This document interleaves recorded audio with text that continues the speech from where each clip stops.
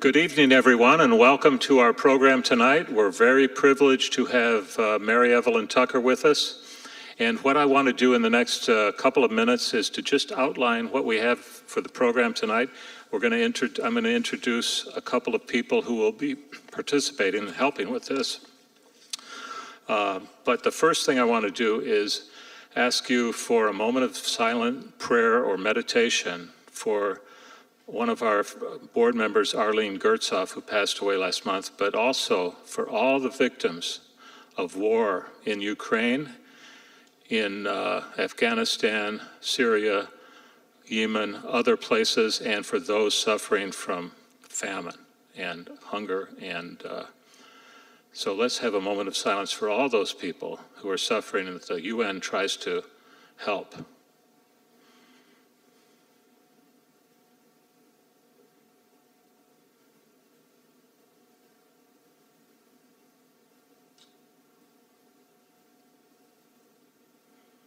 Thank you very much. Um, so what I'd like to do is just let you know what's going to happen here. First, we're going to have, right after I'm finished here, we're going to start with the hymn to the United Nations. It's a video, it's about three and a half minutes long. Then we're going to have the Secretary General's message for UN Day delivered by the Secretary General on video. And after that, I'm going to introduce uh, the two people who will be helping in this program tonight, uh, Aye Aye Thant and Maggie Mudd. Aye Aye Thant is, uh, you know, the daughter of Secretary General U Thant. She spent a lot of her youth serving as a hostess for him. When he was Secretary General of the UN, she would host events with him. And in the process, she got to meet some very interesting people.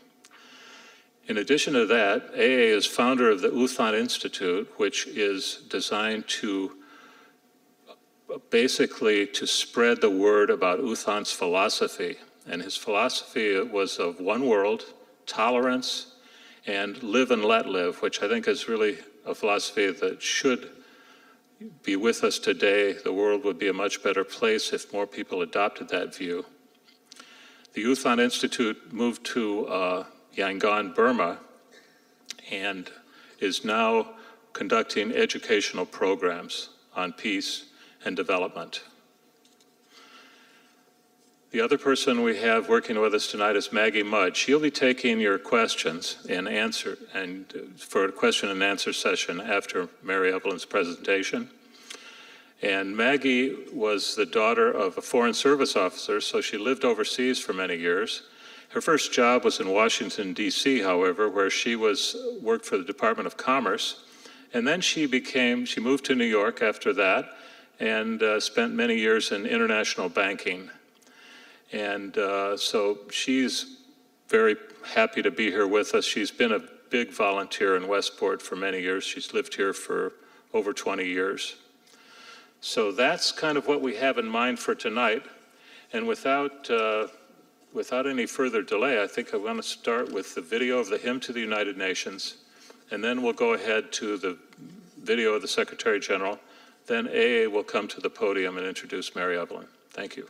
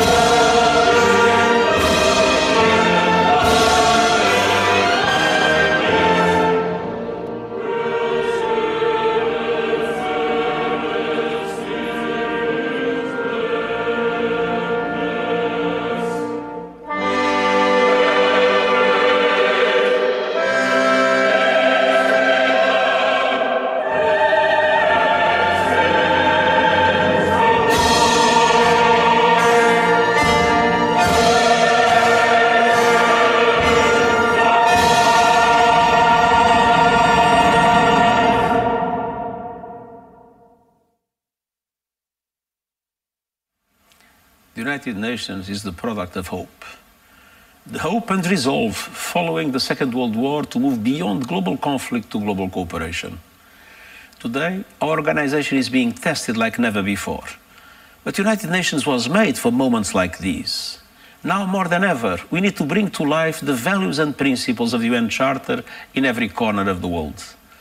By giving peace a chance and ending conflicts that jeopardize lives, futures, and global progress.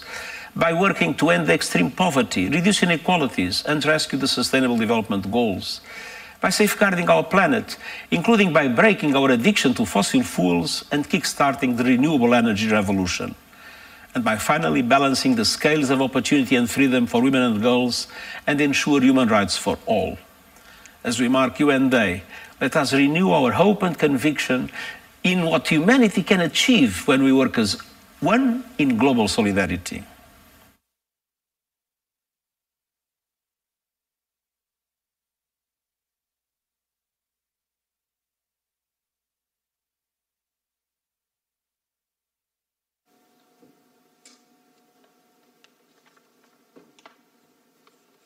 Welcome to the United Nations Day. And today, as we celebrate the 77th anniversary of the uh, founding of the United Nations, we are also celebrating and honoring the life and legacy of Ruth Steinkraus Cohen. Her passion for world peace and unwavering support of the United Nations objective of the UN pro uh, proposed her to establish UNA USA Southwestern Connecticut chapter. She was a proud citizen of Westport, mentor, and a dear friend of many of us. For Ruth, Westport is a meeting point where people from different cultures come together to communicate and create understanding and unity where bridges are built. Today's topic, reimagining our environmental future together, journeying from impasse to inspire action, will promote an awareness of the overriding challenge of our time the climate crisis and address how to mobilize the will and resources to address this grim reality. It is my pleasure and privilege to introduce to you our distinguished speaker, Dr. Mary Evelyn Tucker, who will lead us to reimagine our environmental future together. I first met Mary Evelyn in November 2019 when she was one of the panelists at the symposium at Sacred Heart University. It was one of the most enlightening programs and we began a conversation after the talk. Since then, I have been following her on her newsletter the Yale Forum on Religion and Ecology, which is rich with resources. I always look forward to reading it. I'm so sorry that because of the time, I could not list all her achievements. As said in the program, she is a senior lecturer and research scholar at Yale University School of Environment and Divinity School. Aside from that, positions, she, together with her husband, Dr. Jo John Grim, a professor at Yale and, and uh, expert on Native American uh, traditions, have created a multimedia project called Journey of the Universe, which includes an Emmy Award film and was broadcast on PBS. Her concern for the growing environmental crisis, especially in Asia, led her to organize with Dr. Grim a series of 10 conferences on world religion and ecology at the Center for the Study of World Religion at Harvard from 1995 to 1998. Together, they are also series editors for the 10 volumes from the conferences distributed by Harvard University Press. She is the recipient of many, many awards, including the Inspiring Year Teaching Award, which I am sure is particularly rewarding for all teachers. May I now ask you to join me in welcoming our today's distinguished speaker, Dr. Mary Evelyn Tucker.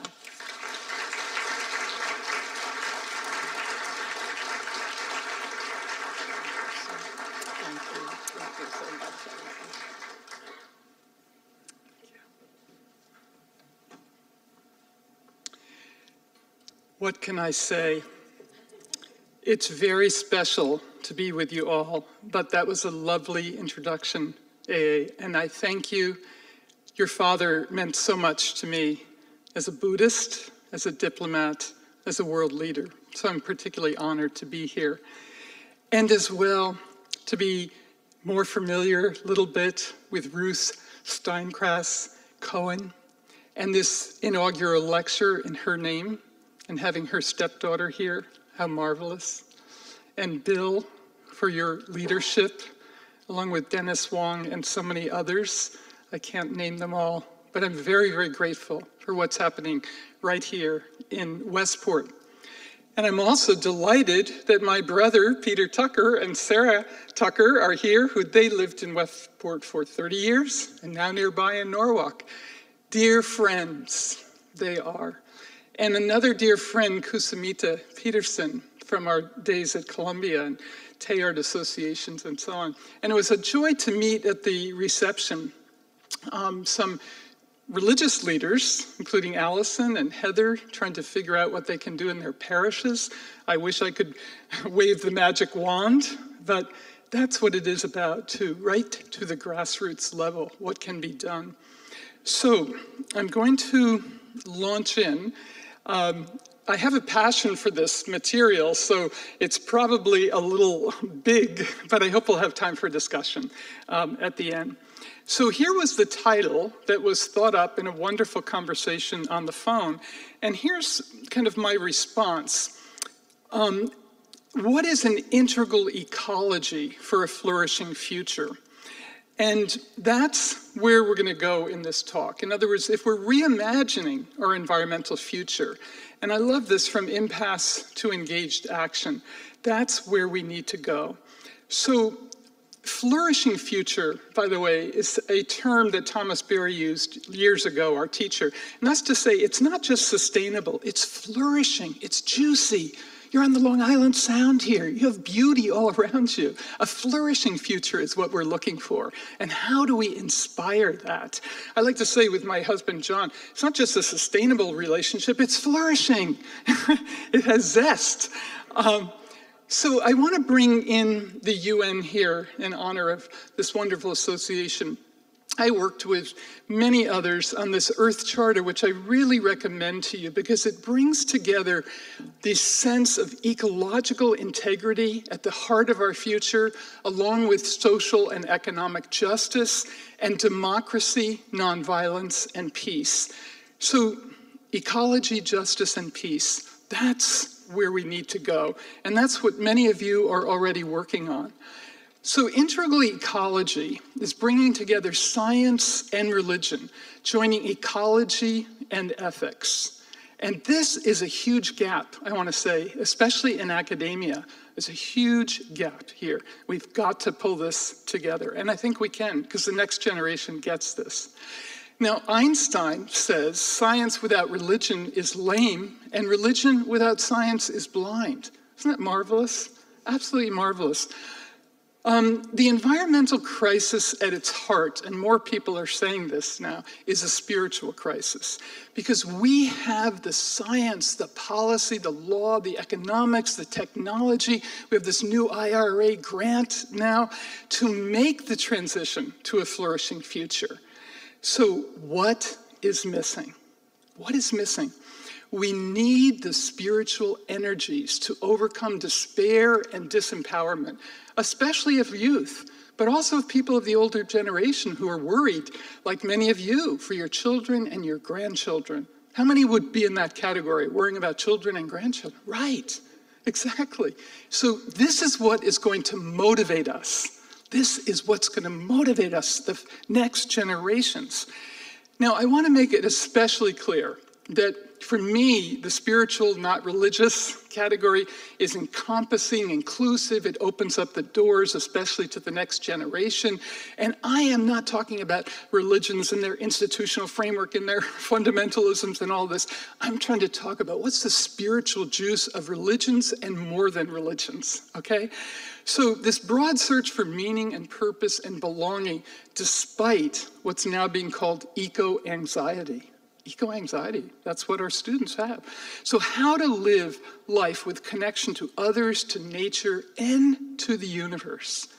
The stars in a place like Westport, right? I was out the other night, we're up in Old Lyme right now.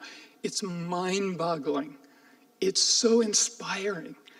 Here's what Robert Dworkin says a religious attitude involves moral and cosmic convictions beyond simply a belief in God, that people have an innate, inescapable responsibility to make something valuable of their lives, and that the natural universe is gloriously, mysteriously wonderful. Isn't that marvelous? Marvelous. So, we know we are in this stress of climate emergency. It's Pakistan. The world is on fire, on floods, and so on. The climate refugees are now estimated to be 90 million, small number, and just escalating. And that includes the migrants coming north because of environmental conditions here and in Europe and so on. But we also have these problems of pollution the Yamuna River in Delhi, we did a conference on this river. It's supposed to be a sacred river, and yet it's deeply polluted, as is the Ganges, the Brahmaputra. All these rivers in India and China, especially polluted. Biodiversity loss is the third big problem that the UN has identified climate, pollution, biodiversity loss. We are living in a sixth extinction period. The Natural History Museum in New York has this on the floor of the Hall of Biodiversity, but it also says we can stem the tide of destruction. Stem the tide of destruction. What is that going to mean? What is it going to take? So I'm offering tonight, against great odds and with a great deal of humility, some responses of hope. This Yale Forum is something that hundreds really thousands now have participated in to try and create a response from religious and spiritual communities. I'm going to talk about Pope Francis's letter, which is hugely in, um, influential. Thomas Berry, our teacher, um, one of the great thinkers of our time. I'm going to speak at the end about journey of the universe and a cosmic and ecological spirituality that can light us up now, how did this work begin? I think our stories are always interesting to share. So I first went to Japan in 73, 74 to teach.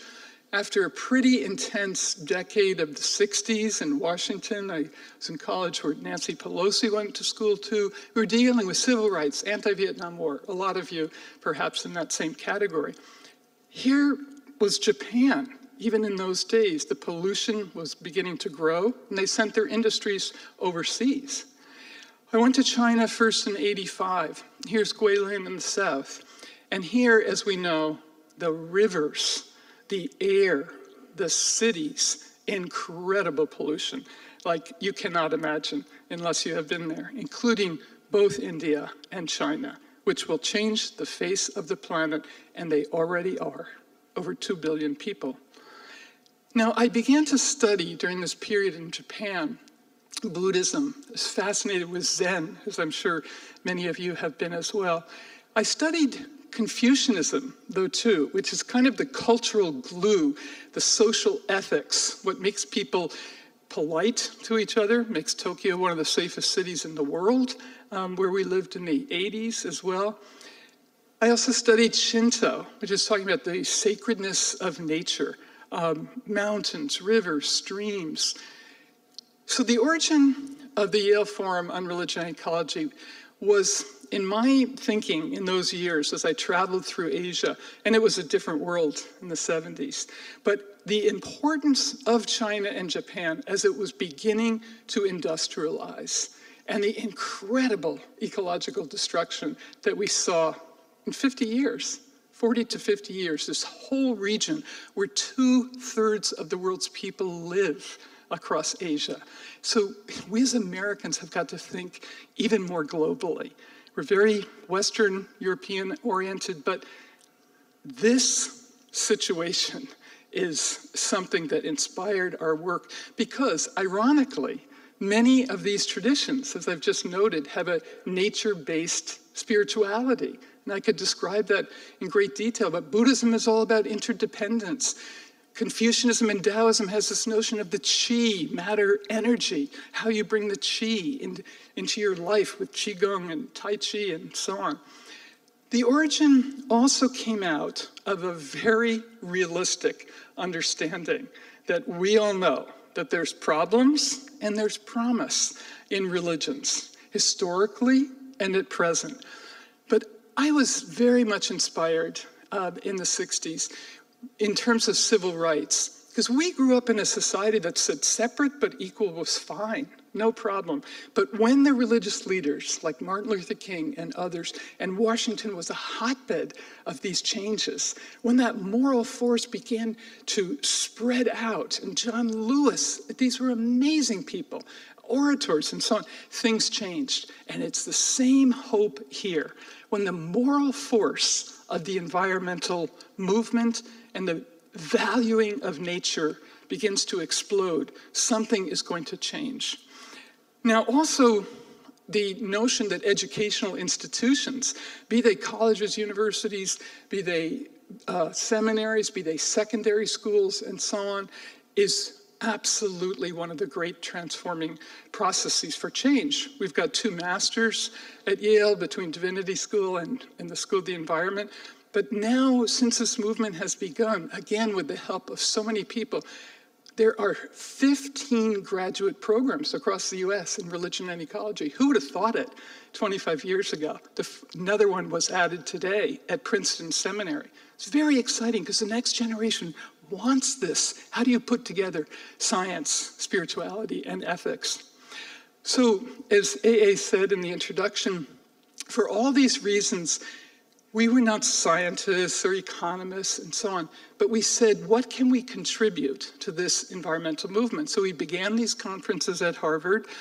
Um, this series, um, which took three and four years, and the books another four and five, um, on indigenous religions, on all of the Western religions. I hope the library has some of them here. Um, and as well the Asian traditions, Confucianism, Buddhism, Jainism, and Hinduism. But I want to say once again, scholars who were not paid anything to do this work, they wanted their knowledge to come into being for a certain transformation. They got it. Um, we also have a series on ecology and justice, um, which includes just water. It includes defending Mother Earth of Native Americans. The one in the middle, Cry of the Earth, Cry of the Poor, came out in 97 by one of the leading liberation theologians, Leonardo Boff, and it's central to the Pope's encyclical letter. So we have a vast website. I think there's like a thousand pages. we are trying to create a field and a force. So there's statements from all the world's religions on valuing nature um, and eco-justice issues, scriptures, bibliographies. I've got to change that because there's 15 graduate programs now. But the force as well If you look on our website, you will see engaged projects all over the world of restoration of trees, of, of rivers, of salmon, um, protecting turtles and birds and, and so on. And we have a whole section just on eco justice, which I'll speak about soon. And hopefully the newsletter will be of interest to you. I want to highlight some of these individuals who have been much inspired. Wangari Maathai, I hope some of you know who she is. Um, she had Christian background, but also Kikuyu uh, from Kenya. And she started the Green Belt movement with women, which just exploded in terms of reforestation. She got the Nobel Peace Prize for saying the environment and a spiritual perspective is the origin and the grounding for peace. She is, she's passed away now, but an extraordinary figure in this whole movement. I hope you also know who Robin Wall Kimmerer is. Um, she just won a MacArthur Prize and how many of you know her book, Braiding Sweetgrass, which has been on the New York Times bestseller list? She's putting together traditional environmental knowledge with her background in forestry and botany and so on. This weave that I'm talking about of an integral ecology, extraordinary. You can watch um, her talks on, on YouTube as well. Now, I'm mentioning her because at the Glasgow Conference on Climate, what was so important and what became ever more visible was the presence of indigenous peoples outside the main uh, buildings, religious leaders, and youth. We could spend the rest of the talk talking about youth movements, which are truly a source of inspiration. Sunrise Movement in this country, Extinction Rebellion, and others. The youth are taking this up it's their future, obviously. Um, here is one of the great African American leaders. I'm so glad some of you are nodding your heads. He just spoke at Yale this past weekend, um, Reverend William Barber. Now, he picks up all the concerns from civil rights and social justice and is putting them together with eco justice. He is prophetic. And he has um, the, the, poor people's movement was something that Martin Luther King and others started in the 60s, but he's picked up the seeds of that and he's leading a poor people's movement. Um, Vandana Shiva from India has been working for, she has Hindu background and so on, but she's been working on agriculture, on seeds with farmers in India. Um, it's a very, very difficult situation for farmers around the world, as you may know. So now I'm going to launch into uh, Pope Francis's encyclical and then Thomas Berry. So, and this is not about one tradition, it's just to highlight an example that has had a lot of effect. Because fortunately, Francis is lovable, likable, believable. He's not pompous and caught up within all of the problems of Catholicism and so on. But you can see here this cry of the earth, cry of the poor that came out of Latin American liberation theology is central to his thinking because he's from Latin America. Um, Thomas Berry, our teacher, he's speaking about the living earth community. This isn't dead. This isn't purposeless and meaningless. This is a living earth community. So, the call then of integral ecology is for an eco spirituality that gives us, inspires us with awe, with wonder and beauty of creation. And that is what, again, the next generation is embracing. And that can include earth based spiritualities. It can include people in the sciences who love what they're doing and give us that sense of awe and wonder. Um, now, eco justice is the sense of action. And this is climate justice. This is pollution justice. If you look at Flint, Michigan, what has happened there still? African American communities without water, Jackson, Mississippi, Cancer Alley in Louisiana. So, what is going to happen unless we do something about uh, climate change in terms of eco justice? So, care for people and the earth. And that's what this encyclical does. It puts these two together. The sub, it's Laudato Si, which means praise be in early Italian. And Francis, of course, St. Francis of Assisi, is the inspiration for the Pope. Um, So, Care for Our Common Home came out in 2015. And I used to say to my mother, we lived down in Pelham, I would say, Mom, if we have a Pope who's believable, lovable, real, and does something on the environment, we have a chance. We have a chance because there's here we are, this broad invitation. So it's to Catholics around the world, which are a billion, Christians, including Orthodox. He's very good friends with the Greek Orthodox Patriarch Bartholomew. There's another billion when you put all these together. Uh, but the appeal was also to people of all religions, spiritual people, people and seekers. Now, some of you mentioned that you were trained by Jesuits. The Jesuit universities, I spoke to their alumni association this summer in Barcelona. There are 8 million Jesuit alums. It's the largest uh, educational institution in the world. Um, they've got 600 uh, uh, high schools, and they're making a pledge for their 200 universities all over the world. 27 of them are here in the US to move into this spirit of Laudato Si, which is a movement now. So that's an educational shift of some importance and some note. So the response of the world's religions has been overwhelmingly positive and affirming. They're writing their own statements just about Laudato Si.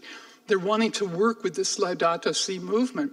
And a new film just came out um, earlier this month called The Letter, which you can watch. It's very powerful just a few individuals, but from every continent, what they have endured for climate change, and some scientists saying what they're trying to do. Very beautiful. The first day, 800,000 people watched it. Now, the response of the environmentalists is also interesting. It's been very, very positive. Our, even our dean, our last dean at the School of the Environment at Yale, had us do something on the encyclical even before it came out a packed auditorium with people from the law school, scientists, and so on. So scientists get why this is important. And Bill McKibben, one of my great heroes, said when he came to speak at Yale a few years ago, a thousand people were listening to him the next morning at breakfast. He says, Mary Evelyn, John, this encyclical letter is the most important document of the 21st century. That is something. Now, he comes uh, from a wellspring of Methodist background, is very sympathetic to this. But when environmentalists who've been at this a long time recognize this integral ecology, science, spirituality, ethics, ecology coming together, they're rejoicing. So the encyclical letter begins with science. He doesn't begin by preaching, he begins by listening to the science. His second chapter is this gospel of creation that inspires awe. He's saying the mystery of the universe is beyond anything we could imagine. And there's a harmony of creation in each creature, each creature, each species. That's what we're also understanding. The amazing communication of trees and forests and roots, the communication and sentience of birds in migrations of turtle migrations, salmon migrations. Sentience is distributed throughout this living earth. And that's what he's recognizing with this interdependence of all life, a universal communion, saying that the natural environment is a collective good. Now, the third, he takes a step back from science, from awe. What are the problems? And he identifies them so powerfully. I've been reading in this area for decades what he does, his analysis is incredible, especially this instrumental use of nature. Is nature just for us and our uses? Is nature a dead object that we can exploit any way we want? Or does it have intrinsic value? And he's very, very big on the critique of consumerism and materialism, which we perform very well. And there's no one who's not part of this American problem. We can do something about it, though. We can absolutely do it. A culture of waste. People come to our country and they're like, the Europeans are like, how can we have huge food things, the waste of clothes and so on? Again, we're all part of it. This isn't to make us feel guilty, it's to inspire change. Market based solutions, while absolutely necessary, if they're coming on with a sense that economic progress without limits, that is a problem. And there's all kinds of new ecological economics emerging, donut economics, the uh, sense of renewable economics linked into the earth itself. So we've got to look at what is an ecological economics that can sustain and help flourish these uh, extraordinarily complex ecosystems. The solution then, he gives the problems and then he comes to the solution, which is this term integral ecology, where he says ecology, economics, equity, and ethics must all be integrated. Again, a new perspective. This hasn't happened at our School of the Environment. You know, again, we have the science here, we've got law here, we've got technology, we've got business. Necessary but not sufficient until we weave it together. He's talking about the principle of the common good. Now, I've lived in Asia for three years in Japan. I study Confucianism. It attracted me hugely because it has this sense of a common good. You know, there's no future without a shared future. And I value individualism and so on, but it has overridden in the West a sense of what is a common good for future generations. He speaks, of course, of solidarity with the poor, with refugees, and of intergenerational justice. I'd like to say we have a handshake of intergenerational justice with our students. And they respond actually very, very well because we don't want to say, these are your problems now. And we don't want them to be giving us the, the critique, it's all your fault. We have to do this together. Now, the Pope uh, is a great inspiration to many people, and Thomas Berry was a huge inspiration to us. He married us, he married Peter and Sarah, my brother and sister. Why? Because he had, we have some people from Czechoslovakia here tonight, he had, like Václav Havel, an amazing sense of spirituality that was connected to, woven into these earth systems Havel's language was extraordinary, and so is Berry's. He has this first book, Dream of the Earth. What is the earth dreaming for us? Sacred Universe, when Columbia published this and we did the editing, we were amazed that a secular press like Columbia would call it Sacred Universe. See, we've got to re inhabit that language. Yale is, I'm not going to speak at Yale about Sacred Universe. These are hyper secular institutions, and we've got to overcome that. That's this, the point of this integral ecology. Why? I did my graduate work at Columbia, did this work at Harvard, at Berkeley, taught at Princeton. None of these institutions can we really use this language. And that is creating such schizophrenia in our students. They can't integrate, they can't find meaning and purpose. So Berry speaks of the great work that needs to be done, and his, one of his last books was Evening Thoughts. So here's the language that can be inspiring, I think, in defining eco spirituality. He says, at its core, even our spirituality is earth derived. The human and the earth are totally implicated, each in the other. If there's no spirituality in the earth, then there's no spirituality in ourselves. What a different perspective. It's not out there in a transcendent God alone. You see, this is where the Asian religions and indigenous religions understand what spiritual is right here. Why do you live, want to live next to this beauty? It's inspiring, absolutely inspiring. He says there's a spiritual presence in all life, but we can no longer hear the voice of the rivers, the mountains, or the sea the trees and meadows are no longer intimate modes of spiritual presence.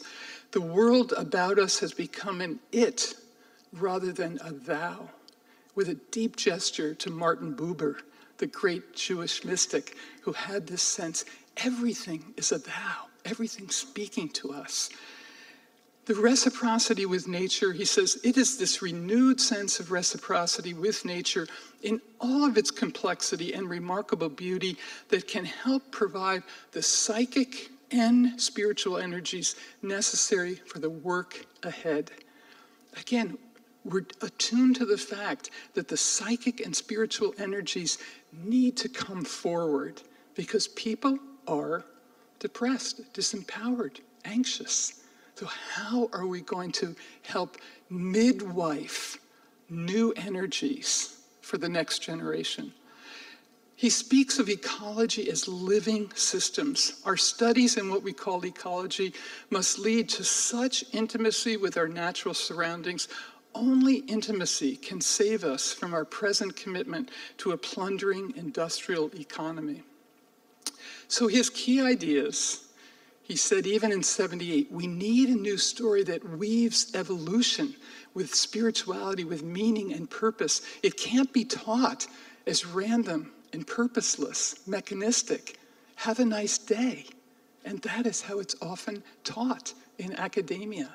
So, where do students situate themselves? He says, We dwell in a sacred universe, we're in a living earth community. Earth is a communion of subjects, not a collection of objects. Again, the birds you see around here, your walks in the forest, the meadows and things in this part of the world are extraordinary, but they're speaking to us. And this is one of his most famous lines. And then he calls us to the great work of creating a flourishing future. So, the final part here, I've just done this sort of orchestration of many, many parts of a symphony that's emerging in religion and ecology with work of all the religions all over the world. It's incipient, it's new. 25 years is just a fraction, but it is growing and we can all help it to grow. And then we take a step back and we say, what is the symphony of the universe? What is the context in which our lives really take on a special meaning and purpose. We can get up in the morning with sort of a zest, a sparkle. We can turn that music on and go about our day. So, Journey of the Universe is a film um, and a whole project that was indebted to this new story of Thomas Berry.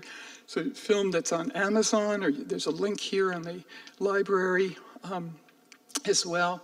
There's a book from Yale Press. There's conversations, interviews I did with both environmentalists and, and scientists, African Americans saying why this mattered, Native Americans, and so on. There's online courses, there's a website, there's a newsletter. And there has been a wide appeal for this approach to evolution, spirituality, ethics. From this, uh, next generation schools and universities and churches have used this. A curriculum has been developed. The last time before COVID, and we've showed it in China many times, um, there's 77,000 viewers. And incidentally, uh, as Ruth's stepdaughter asked, this is a symbol of the heavens in Chinese, Tian. And when you do the Chinese cosmology of heaven, earth, and human, that's their trinity. That is built into this film. There's no mention of God because it was on PBS for three years, no mention in particular of any one of the religions, but the sensibilities, and I write the characters on the board, the Chinese love this because they have that cosmological sensibility. So, in conclusion, this cosmic and earth eco spirituality is an appreciation for the sacred universe out of which earth and life evolved and to which we belong. Here's the origin, the great flaring forth of this astonishing evolutionary process. A minute, less than a fraction of a minute, larger the expansion or smaller, nothing would have emerged. These amazing facts that we're discovering about this story. Here's the birth of stars, we're seeing them now through the Webb telescope. And from the stars, all of the elements of life come. So the stars are our ancestors, as we're saying in this film. Um, here's the galaxies that are emerging, exploding. Our parents and grandparents had no idea that we live amidst trillions of galaxies. Is that not enough awe and wonder to inspire action? Here's a picture taken by a dear friend in central Pennsylvania over a lake, and here we are in our Milky Way galaxy. I just love this picture. And we can create music, poetry, and song, which is already emerging to celebrate this sense that we live in, in an expanding, unfolding universe, because it evokes in us reverence, respect, and responsibility. Reverence for valuing the complexity of Earth and the profound interdependence of life systems. Every ecologist gets this. And here's the moon in its different phases. I believe tonight or tomorrow is going to be a new moon, and there's a lunar eclipse that's happening. Here's where we are right now in Old Lyme, staying and doing a writing retreat with the rising sun and its inspiration, with the setting sun. We are inspired by these systems so that we must respect all life, a realization that Life is connected, emerged here on Earth after billions of years of evolution. It's 10 billion years just of universe evolution, 4.6 of Earth evolution. And probably, we don't know fully, there's not life as we know it here in, in the solar system. Maybe further out, but you know what? Why don't we take care of this life? Why don't we do that? Earthrise, as many of you will remember, changed our life forever because we could see that blue, green, marble planet with its living waters and clouds and so on as never before. It's a watershed in human consciousness that we still need to bring into our lives, our sense of direction and purpose. How astonishing. All of the astronauts have been so inspired by this trip around the earth. So, the responsibility then for the future of life, responsible for the care and continuity of the living earth community, the continuity of mountains, of rivers, of rainforests, of fish and coral reefs, of birds, of humans, next generations and finally, to realize that we're living within a new story that orients us. I like to do this with a Qigong movement with my students, orients us to the cosmos, grounds us in Earth's living systems, nurtures us with water, air, and food. All the elements are nurturing us and transforms us with energy, with a zest for life. Thank you so much.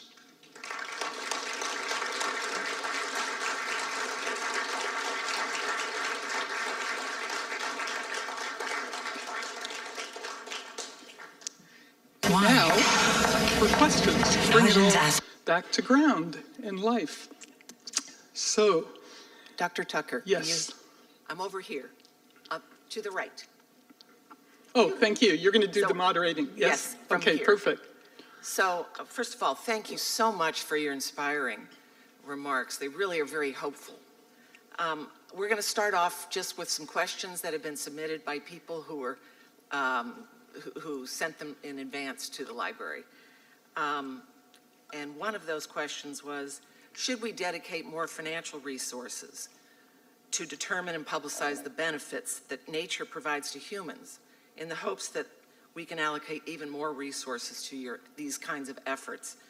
And what, what do we do to get our governments to fund the commitments they've already made? Mm-hmm. Great questions. the next COP meeting on climate change coming up in Egypt, beginning of November, and the whole issue is going to be finance. Are we going to finance from the developed world to the still developing world? That has not taken place, many resentments and so on. Nature based solutions, though, are emerging um, that says as you conserve trees, forests, rainforests, and so on, um, that, that has to be financed. There's been a whole debt for nature swap, which is back into play right now. Namely, developing countries are saying, you're asking for our debt, but what if we conserve our, our biodiversity, our ecosystems, and so on? So all of these are at play. There's no question. And you know, if we talk about finance, we can go in many, many directions. But one thing, and I hope it doesn't offend anybody, but one thing we can do is think about within our institutions of divestment and investment, namely divestment of problematic fossil fuels and investment in alternative energies. And the religious, there's now four, $40 trillion of divestment. And Bill McKibben started this movement maybe 12 years ago. A third of that is from religious communities because they don't want their pensions and so on invested in problematic things. So there's a lot of practical uh, things we can do along these lines. I'm going to ask one more question, and then I'm going to invite the audience to come up and ask their own questions. And may I ask that when you do come up, that you frame your thoughts in the form of a question, and that you try to be succinct, because there'll probably be many people who want to ask questions. But another question that was asked from um, the virtual audience is, how might artificial intelligence affect our approach to our environmental future? Well, that's a great question, as was the first. Um, and both we could spend a lot of time on. Um, you know, at Yale, there's a Center for Virtual Reality, and we went down there, and John put on the goggles and so on, and it's pretty mind-boggling, some of the virtual reality. Um, some of the AI, I'm not, I'm, I'm not myself enamored of, but I think there's some potential uh, for sure of understanding ecosystems. And, and if we can use like all of these technologies for good, for understanding, for scientific creativity and ecological solutions, I think that's great. But when they become distractions and uh, put more people within the bubbles that we're already in with computers and iPhones and all of us, um, it's not giving us that sense that Berry was trying to say of intimacy, the unfiltered intimacy with nature itself. So I'm, I'm just speaking of my ambivalence, but I think we definitely have to explore it and see how it can be used for the good. Thank you. Now I invite the audience to come up. If people would like to ask questions themselves, please feel free to step up. Oh, come on. Who's going to be the first?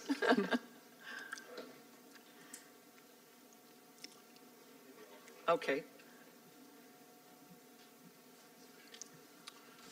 Well, thank you very much for that very good presentation, very interesting. And I think I know when I was in school, uh, we tried to integrate science and, and, and philosophy and make sense of the world that way. And we did it on our own.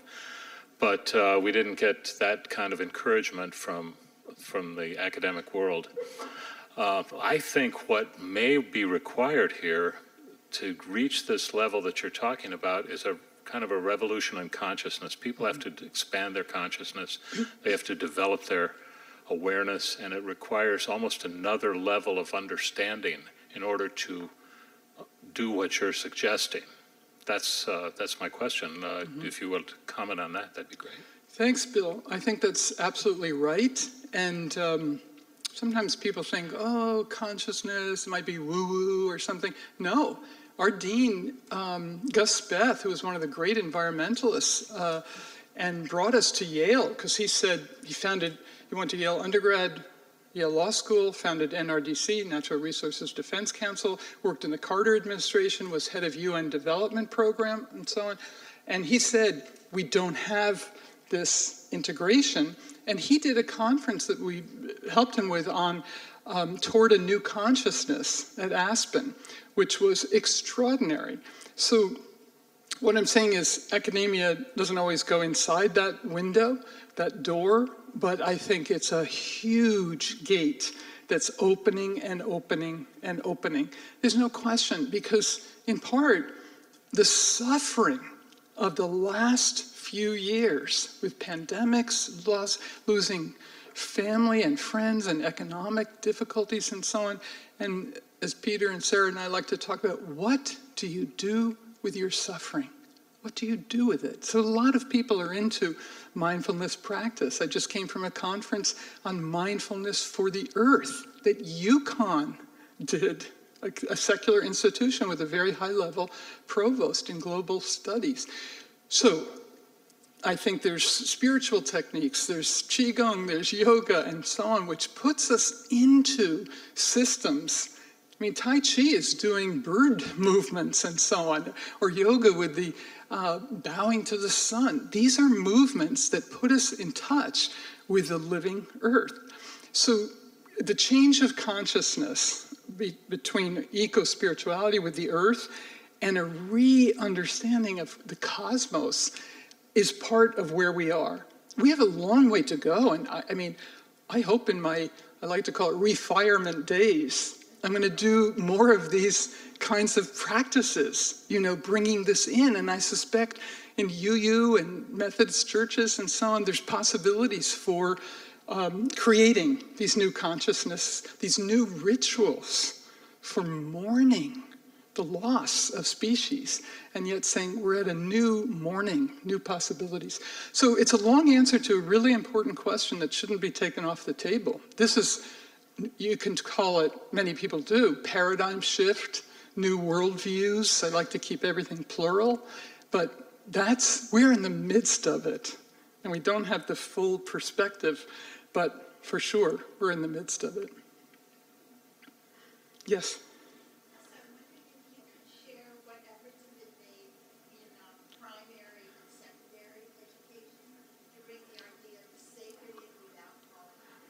Right, great. So the question was, what are efforts in early, maybe grammar school and pre-grammar school, um, for sense of the sacred without calling it religious?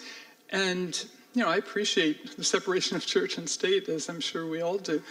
Um, so there, there are a number of things. First of all, in terms of the journey of the universe, there's three extraordinary books done for children by Jennifer Morgan um, on the understanding the processes of nature and so on. Um, so that's important. There's mindfulness practices, as you may know, already in the schools that don't use overtly religious language, but just calming children down, giving them a moment of silence. Um, when I do, when I teach Buddhism and I teach them a little bit about Zen meditation, the students are like, oh my God, this is wonderful. You know, even at this conference that was up at Old Lyme, there was a Buddhist monk from Sri Lanka. And, you know, just that sense of calm that um, can be evoked in five minutes. It doesn't have to be a whole retreat or whatever. So I think things are coming into the schools because the sense of uh, mental health is so huge. This is why UConn is doing it. All of our mental health uh, faculties are way overstretched. So what are we going to offer?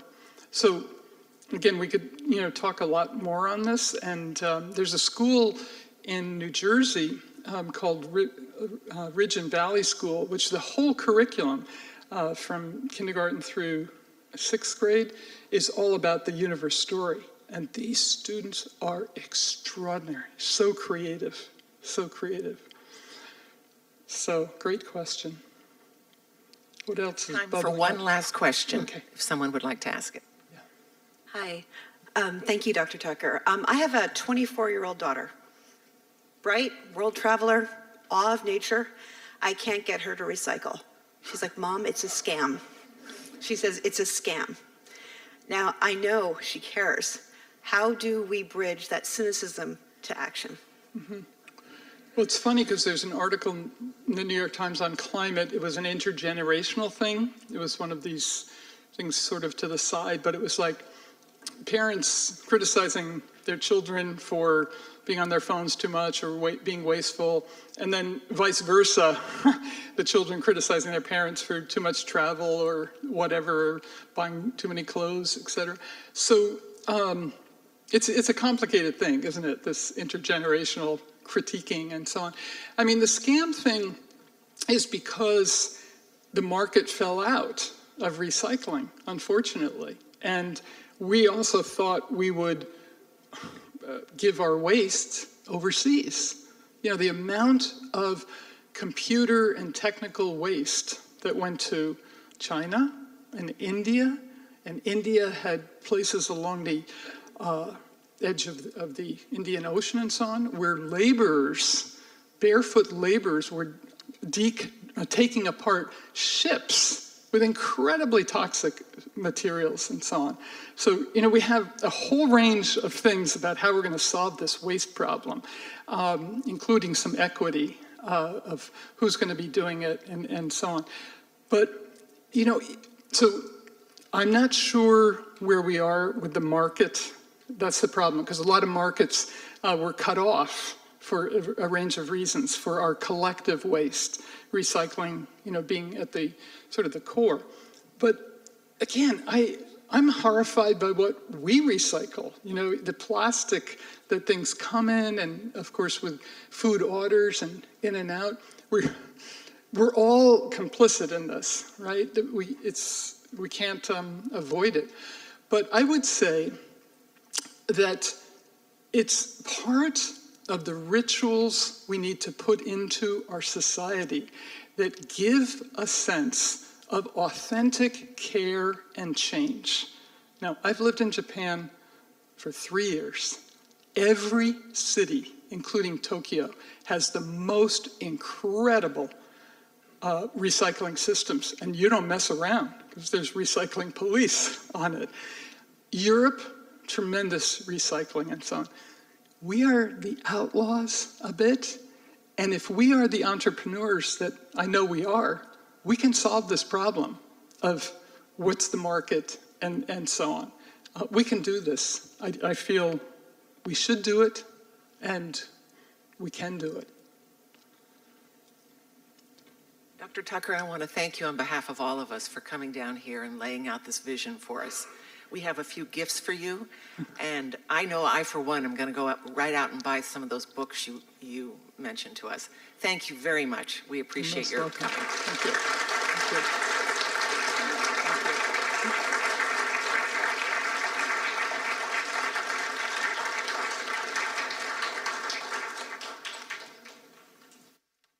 Thank you all for coming, and I hope you will feel hopeful, inspired, good, not. We're all sad at times, there's no doubt. But you know, we have family, we have friends, we have grandchildren or children who are going to bring that bright light into our lives. And I'm so happy to see you smiling, because that's what we need more than anything. So take those smiles home and broad- broadcast them tomorrow, okay? Thank you.